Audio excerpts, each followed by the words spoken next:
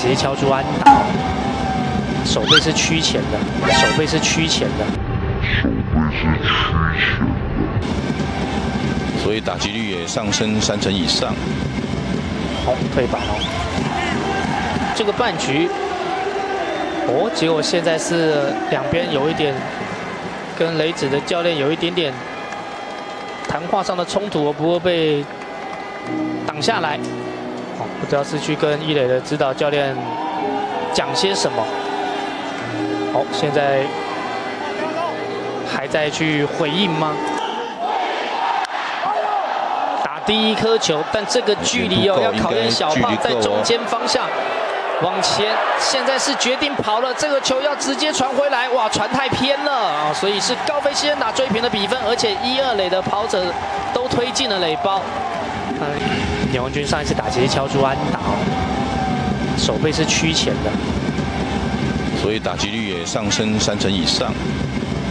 好，退板哦。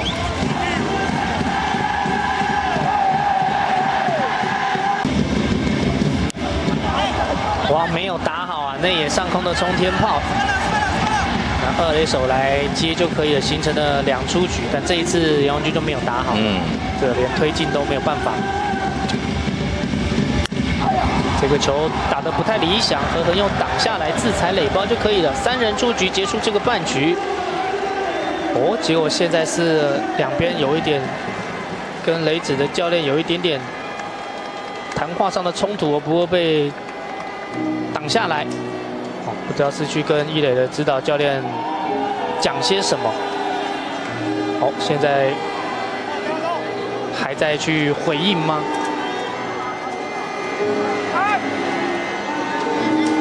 这个现在是跟一垒的指导教练呢，陈元峰教练呢是反而是跟布雷克啊有一些言语的交换。结束这个。好，在刚刚结束那个半局的时候啊，看到布雷克呢是跟乐天的易磊指导教练啊陈彦峰教练是有一些好像布雷克比较不满的地方，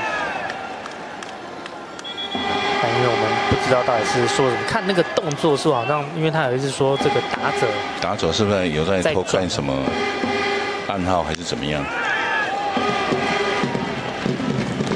然后这个并没有进一步的扩大，说冲突也好，都有被挡下。